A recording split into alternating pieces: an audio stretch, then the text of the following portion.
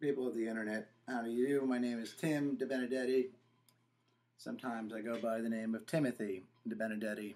And I'm going to do a, a fairly impromptu um, little uh, tutorial right now for you about uh, a song called You Enjoy Myself. All right. Um, I've had some people from um, the Phish community, okay? Ask me to um, give some example of uh, the teaching style of teaching that I do, that kind of thing. And um, I offered to do this little bit here um, because I had tabbed out the thing for a friend um, last summer, a student who was a, a Phish fan, and um, this is my original um, no, these are my original notes, I should say, on the uh, on the song, and you know, whatever. I'm not going to make you look at that. It's hard enough to read as it is. But so today I spent a few minutes here um, transcribing it uh, in eight in eight bar sets. Um, the section of the song we're going to look at is uh, in six eight a section that we're going to talk about today is um, it was a section that I always found very interesting when I was younger. Um, and I wanted to, you know, I would have liked to have known how to have played something like this, but um, it was a bit over my head at the time. So when I do this breakdown of every eight bars or whatever, I'll be talking about how you ought to or how you can understand um, the music you know, and it would make learning something like this ultimately much quicker for you if you had these um, bits of understanding already in your, you know, already, uh, you know, in your uh, your head. All right, so uh,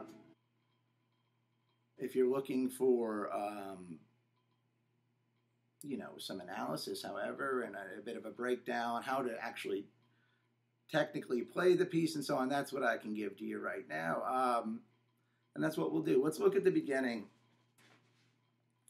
There's a first section, and it gets um, kind of recapitulated again uh, in what I will call um, section two. But here it goes, right? It starts in the, uh, you'll be beginning from G on the 10th fret of the A string. And here we go. Not a chord, in fact, it's an arpeggio of a chord, Italian for broken chord you will see that's all this section is. Is just a number of arpeggios, not very many um, connecting uh, bits uh, in terms of notes that are outside of the chord itself. Um, passing tones, as they would be called. All right. Again, do you see how easy that is? The finger pointer to ring. Okay, is that well lit enough here? There we go.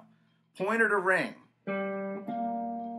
frets 10 to 13. But now, oh, this will transfer into the next shape, which is an arpeggio on C major. But instead of going up, da da da da da da, now it goes da da da da da da. It goes down. So, did you see how I did that? One more time. I use my middle finger to catch that C there, 13th fret, second string. And you have to be able to make these leaps uh, accurately and there it is. So,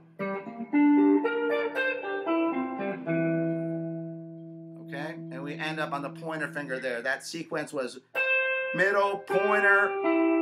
You should know this shape already every major uh, tr triad here on the uh, fourth, third, and second strings will be made with this shape. Here I'm basing it off of the note C on the 10th fret of the uh, fourth string, therefore I have a C chord. You leave off on uh, the third degree of the chord, which serves as the leading tone of the next chord coming, which is up a fourth. It's 3 plus 1. That's 4, right? So 1, 2, 3, 4. Same idea here. Now, in order to play this, in order to learn, have be able to like learn this as you were, if you were hearing it, as I did, you need to know your arpeggios already. I could play that F major arpeggio either way, or, or, there's a few different options. Okay, the notes are the same. What are the notes? For F, the notes are F, A, C, right? Of an F chord, F major. The order number wise is 1, 3, 5, 1, 3, 5. Same with the G minor chord 1, 3, 5, 1, 3, 5. 1, 3, 5, 1, 3, 5. Same exact order or sequence of notes. And then comes a little bit of a tricky transfer. So here's how I actually do play that F chord. I try to end on this note C here, whether I use my pinky uh, or my ring finger as a, you know, it doesn't really matter. Because the next thing I have to do is go.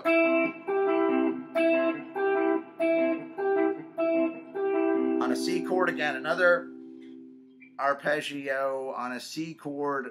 I think it's easiest to do it this way.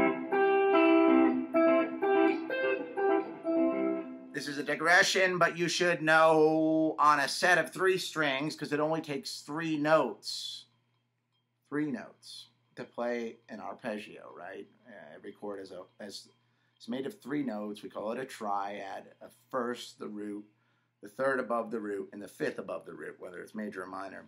Doesn't matter. That what I just said it would apply to both.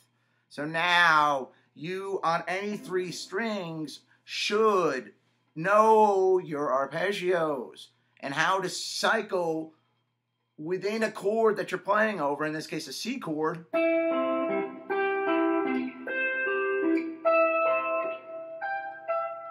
Or backwards.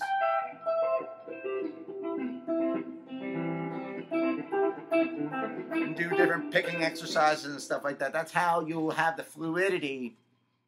That's how you will develop the fluidity necessary to play a piece like this up to speed, which is actually, you know, pretty tricky.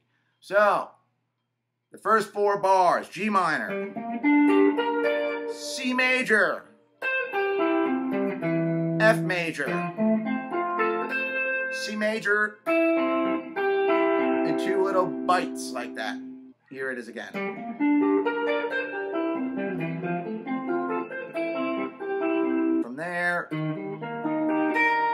Now that is another E flat arpeggio. That is another major arpeggio played through two octaves. One, three, five, one, three, five. See the fingers I'm using, right? Okay, all right. So then, when you end on your pointer finger there on the note B flat, six fret, first string, you will return to the finger that you just used prior to that eighth fret of the second string, the note G, and you will do this kind of turning figure. And you might say, why don't I just play it all in the same position? I think it's hard to do it without flubbing the note. D, when you lay your finger down, becomes an E flat. That's not the right note. That's those are the right notes. G, B flat, G, D, B flat, F. It's a B flat chord. So from E flat, from the fifth measure of the piece, or of the section, pardon me, the fifth measure of this section begins with an E flat major chord. Doubles around,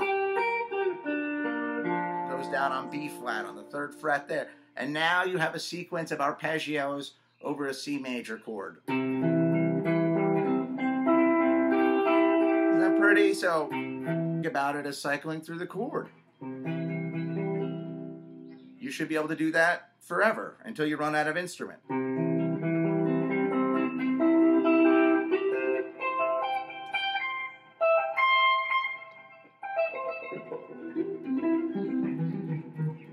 should be able to cycle through your chord with um what's the word um sequences you should practice this if you don't know this stuff already you should practice this kind of stuff i use uh, fingers I go pick, middle, ring, because that's just the best way to play kind of tripletized arpeggios at this tempo. Right? Can you play faster than that with a pick? Not really. And you can't play it cleanly either. At least I can't. And there are other patterns like uh, down, up, down. I think that's more appropriate for something like one and one and, rather than triple it or one two three one two three. Even keel of three counts. When I get there, pick, middle, pick. Pick, middle, pick, middle, pick, middle. That's what I do. So the whole thing goes, the whole two measures, the last two bars of this section. Now here's how it sounds up to speed.